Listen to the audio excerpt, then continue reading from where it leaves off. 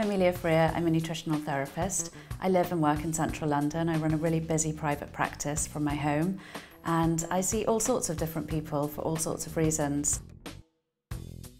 I became a nutritional therapist because I didn't know anything about how to eat. In fact, I ate a complete junk food diet. I didn't really realise that food had any kind of impact on our health.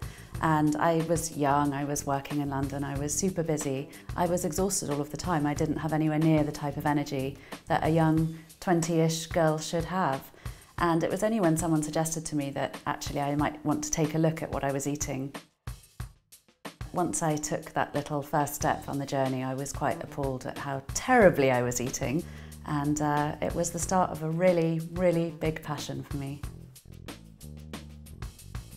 I think skin is a really important reflection of our health and certainly I know that when I haven't been eating well or when I'm not feeling well, my skin is the first thing that shows it. And obviously I believe that we can really nourish our skin, most importantly from within.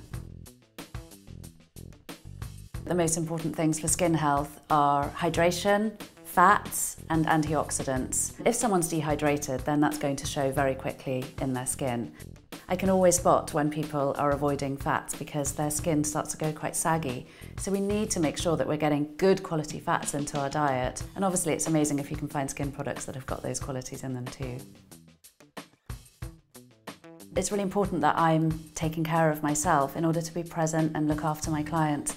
I need to make sure that I'm really calm and energized. So I try to get early nights. When I wake up in the morning, I walk my dog, I have a good breakfast. I try to do some breathing before each client arrives just to make sure that I'm really focused and conscious for when they come in. And obviously at the end of a really busy day, it's really important that I get my downtime and try and get some chill out time before going to bed. My mother really taught me how to look after my skin and so from a very young age I've always really, really taken care. So I will always cleanse, tone and moisturise twice a day. I'm very uh, a real perfectionist about using really good quality products.